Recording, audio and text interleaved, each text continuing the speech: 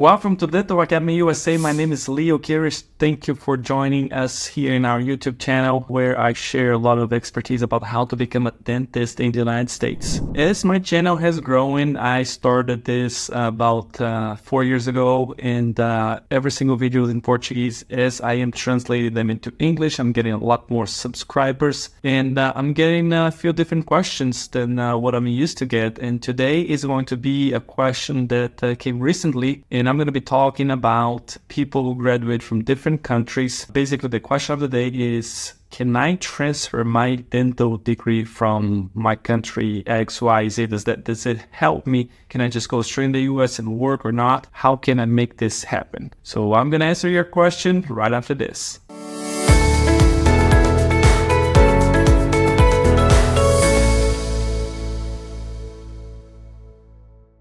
You know that before I start with the answer, I'm gonna ask you to go ahead and subscribe to the channel, like the video, ask a question, share with your friends so we can continue to grow here. But basically the question of the day, as I mentioned, I started with every single video in Portuguese. All the folks that would follow me are from Brazil and they always ask, how can I become a dentist in the United States? So they all know about that.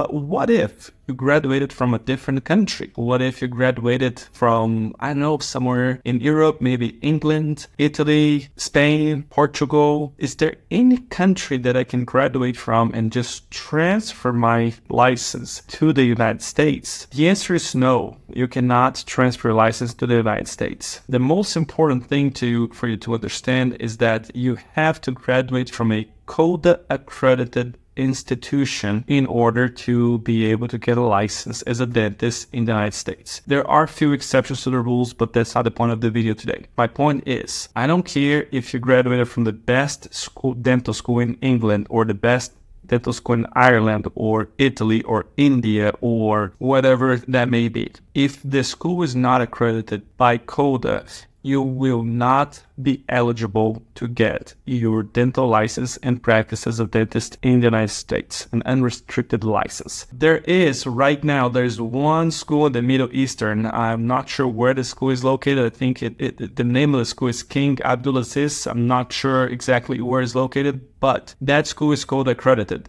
So technically, if you graduate from that school, you would be able to get your dental license in the United States. But other than that, any other schools, if they're not accredited, you're not able to get your dental license. So the answer is no. You cannot transfer dental license from Portugal, from Italy, from Spain to the United States.